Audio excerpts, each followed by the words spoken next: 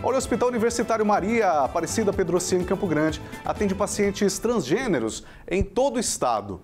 Se de repente é o seu caso, você tem um atendimento especial nesse hospital lá em Campo Grande. E quem chega falando sobre esse assunto é o nosso colega Gerson Vassuf, que está com a cara renovada, né? parece estar tá 10 anos mais novo depois de férias, merecidas é. férias, foi a Dubai, deu uma passadinha ali nas Maldivas e está de volta já no batente na CBN Campo Grande. Fala, meu querido, bom retorno para você.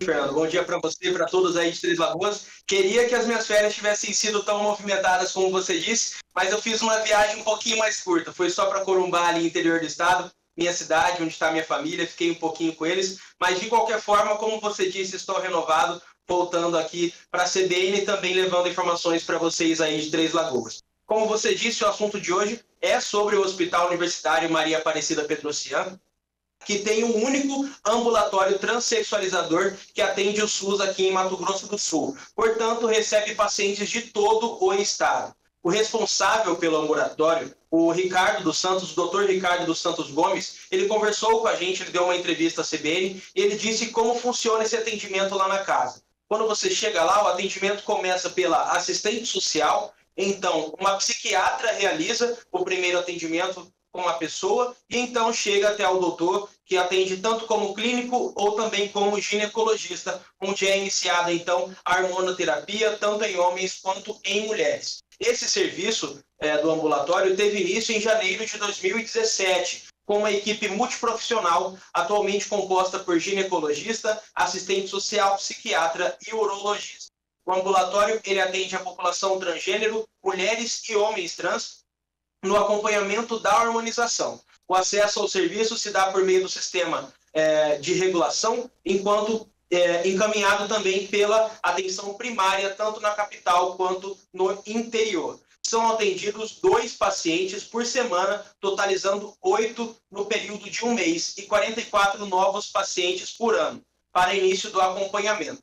Então, lá nesse ambulatório só é feito o acompanhamento da harmonização. Quando a pessoa quer a cirurgia, os que desejarem, eles serão encaminhados então para uns dos locais que realizam esse tipo de procedimento. Por enquanto, esse procedimento não é feito aqui em Campo Grande. É, atualmente, é, as cirurgias só são feitas no Rio de Janeiro, em Goiânia, São Paulo, Recife e também em Porto Alegre. Então, aí um resumo geral de como é, é e como funciona o atendimento no único ambulatório do Estado que fica aqui em Campo Grande, no Hospital Universitário Maria Aparecida Pedrocian. Fernando.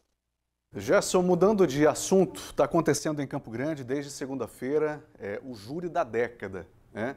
Eu gostaria que você falasse um pouco mais a respeito desse assunto.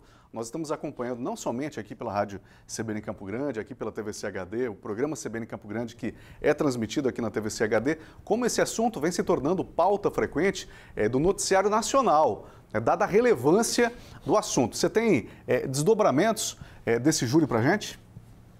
Tenho sim, Fernando. Vou levar para vocês aí alguma atualiza algumas atualizações. Quem trouxe esse assunto para a gente hoje, durante o Jornal pela Manhã, foi o Fernando de Carvalho, nosso repórter, e ele ainda está por lá e me mandou aqui algumas informações, tá? Esse que será o último dia é, do, é, de, do júri do assassinato de Mateus Xavier, ele começou com debates entre a acusação e a defesa. O júri começou sem Jamil Nami estar no plenário e também, até o que se sabe, serão ao longo de hoje nove horas de debate. Tá? É, cada parte terá duas horas e meia para falar e após a promotoria terá duas horas para a réplica e a defesa duas horas para então a tréplica. Depois da fala da acusação e defesa, os jurados responderão ali a um questionário é, feito pelo juiz da segunda vara do Tribunal do Júri, Aluzio Pereira. Então, é esperado que a sentença saia só por volta das 9 horas da noite de hoje. A gente tinha uma expectativa que esse julgamento, é, como você disse, por ser tão complexo e tão esperado, com tanta comoção social, ele fosse é, finalizado só até o final de semana. A gente ia saber o desdobramento disso.